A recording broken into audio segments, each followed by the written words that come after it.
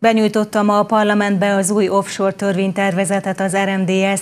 A cél Románia energetikai függetlenségének biztosítása hosszú távon, illetve a földgáz kitermelési beruházások ösztönzése. Az új offshore törvénytervezet révén Románia megduplázhatja gázkészletét, évente mintegy 1 milliárd köbméter gáz termelhet ki. A romániai állampolgárok számára olcsóbb lesz a gáz és a villamos energia, mindemellett pedig Románia regionális gázszolgáltatóvá válhat.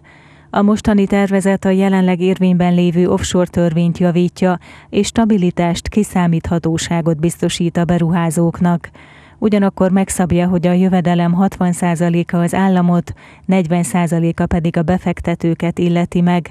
Az onshore szárazföldi beruházások is ugyanezeknek a szabályoknak megfelelően működnének. A Buzau megyei Karadzséléban már 2024-ben megkezdődhet a kitermelés.